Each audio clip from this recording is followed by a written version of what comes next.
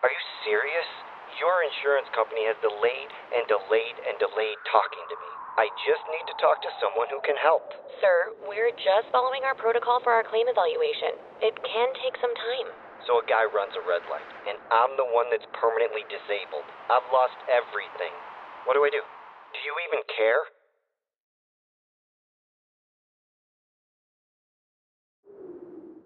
We care and we can help. Call Hauptman O'Brien.